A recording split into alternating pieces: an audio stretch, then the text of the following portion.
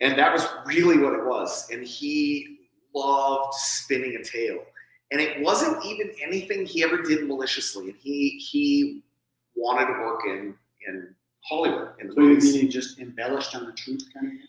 So he ended up arriving at the Los Angeles library fire right at the end of it, like as they were like closing it down. And then he like people were like, oh, and they were interviewing people, and of course he wanted, oh, I'm all that. And so he embellished his tale about how he saved people from the Los Angeles library fire. How he went in there and he was saving people, getting up. And then whenever they interviewed again, he goes, I lied. I'm sorry, I lied.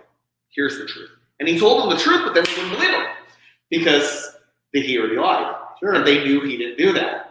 So wolf. so yeah, so then they wouldn't believe him. And then so after that, they made him suspect number one. They probably never solved it simply because they ended up following him instead of the real person who did it. My, my uncle was not a malicious person. He